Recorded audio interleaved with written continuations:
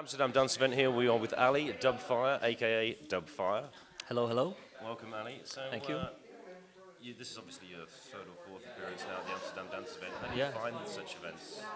I think it's great. I mean, it's um, clearly, I mean, uh, just from looking around uh, at all the um, people that, that, that come here from around the world. I mean, you have promoters that come all the way uh, from South America um, and, and artists from around the world as well. I think it's like uh, the most important sort of um, connective uh, conference or experience for people in our industry that, that we have right now.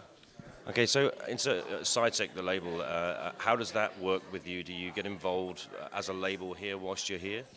Yeah, it's um, SCI+TEC is is basically um, another brand. It's, an extension of, of my Dubfire brand. Um, it's it's an outlet for my own uh, productions uh, and also for new discoveries, new new talent. I feel like uh, as a veteran in the industry, it's my uh, you know duty to sort of uh, discover and and help get um, really talented producers noticed.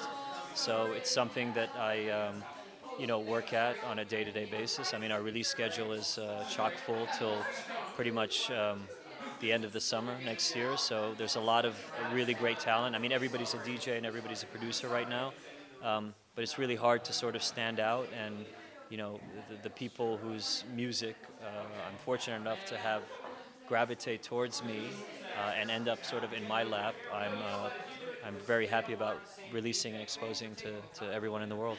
If I can quote you from years ago, you mentioned that uh, with the dance music scene, a lot of the dead wood was shaken from the tree, and only the cream of the cream really rose to the top.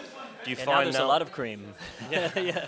That was gonna, do you the find thing. that the talent has, uh, has uh, increased now Yeah, I mean- established? There, there's just more of everything. When we all started out, um, there was less of us. Um, so you know, you know, and, and also like you know, it, it was all about the tangible product. You know, like you know, if there was a certain record that somebody had, you had to get your hands on that record. And now like everything is in the digital domain, which is fine, and everywhere, and, and being duplicated and being um, you know, reworked and remixed and reintroduced, and that's being reworked and re- so it's a very exciting time um, for technology and, and for how music is getting, you know, like sort of distributed and exposed. But at the same time, for younger artists, I think it's a lot more difficult. They have a quite an uphill battle unless they really connect with uh, the youth, and that's when you see, you know, special things happen, like with guys like Skrillex or uh, Steve Aoki or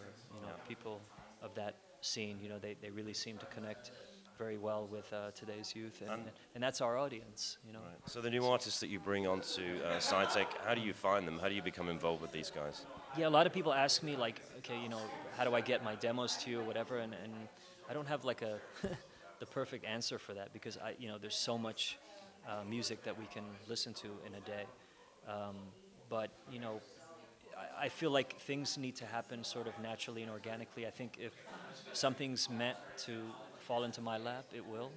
So I don't like to give people like the direct route or the direct channel to me. Um, because I've been fortunate enough since starting the label that um, you know everything that, that we've released I've, I've been really you know heavily into and and um, it just sort of found its way to me and uh, I've managed to keep the label going this long and like I said the, the release schedule is full so I, I I'm not really in a position to request more music but keep it coming you know. Well, listen, we could talk to you for hours. Thank you very much for talking to us, Ali, aka Dubfire. Thank you. There we go. Hi, this is Dubfire. I'm at ADE and you're watching 365 Mag.